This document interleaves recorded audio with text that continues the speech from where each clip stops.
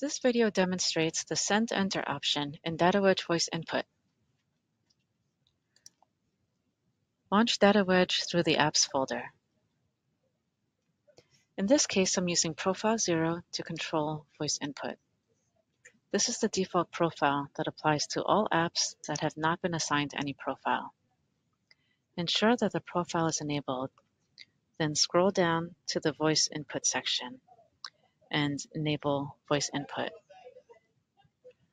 I've set the data capture start phrase to begin and have not specified an end phrase. Select the enter command and enable it and ensure the data type is set to any.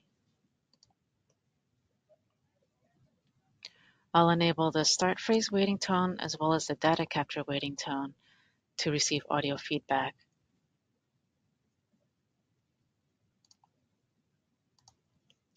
Next, I'll launch contacts to add a contact. Notice that it prompts you to state the start phrase.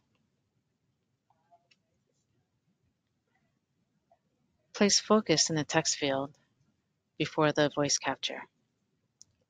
Begin. John Doe. Send enter. Begin.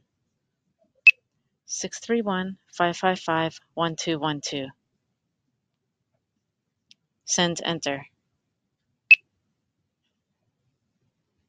As you see, for each field, the start phrase needs to be spoken to begin the voice capture, and the send enter command is accepted once in the waiting for start phrase state.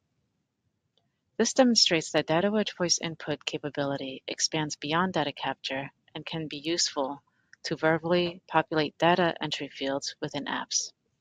Thank you for watching.